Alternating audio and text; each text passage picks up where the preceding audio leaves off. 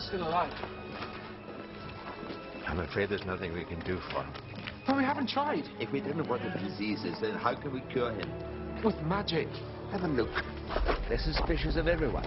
This is not the time to be using magic. Science will lead us to the source of the disease.